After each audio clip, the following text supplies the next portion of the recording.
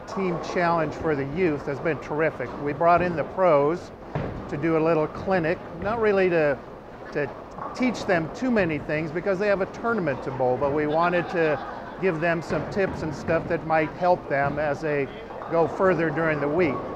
We've had uh, the pros go from lane to lane helping the kids. We had them try some of our newest balls that we have with our switch grip uh, thumb inserts that they could, you know, try the different balls. And we also had a video system set up so that they could get videoed.